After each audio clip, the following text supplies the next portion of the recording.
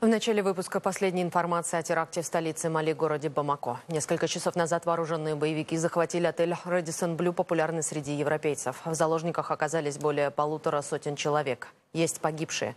В эти минуты полиция штурмует здание. И вот как только что сообщили власти Франции, они отправили в Бамако 50 сотрудников своих спецслужб в помощь местным правоохранителям.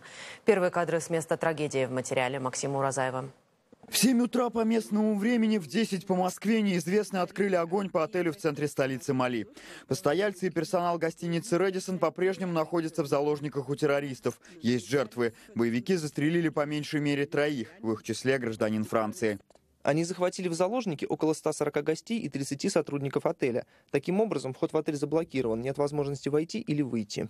Нескольким заложникам удалось выйти беспрепятственно. Террористы отпустили всех граждан Турции. Их среди заложников было пятеро, а также тех, кто смог процитировать строчки из Корана. Таких, понятное дело, меньшинство. Фешенебельный отель в центре столицы Мали популярен среди европейцев, туристов, бизнесменов и дипломатов.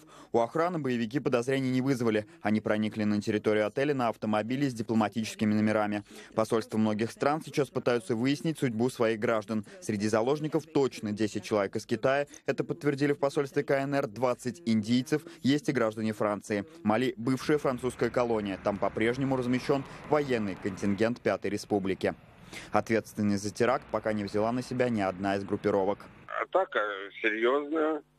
Атака направлена на срыв Э, мирных договоренностей, которые были подписаны в июне месяце. Атака, которая свидетельствует о дальнейшей активизации джихадистских сил. Во главе, судя по всему, стоят аль-каидовские ячейки, в частности, аль-каида исламского Магриба, и которая установила связи с ИГИЛом, и, судя по всему, ИГИЛ стремится координировать действия исламистов – Силы безопасности Мали начали штурм отеля. К этой минуте им удалось освободить по меньшей мере 80 заложников.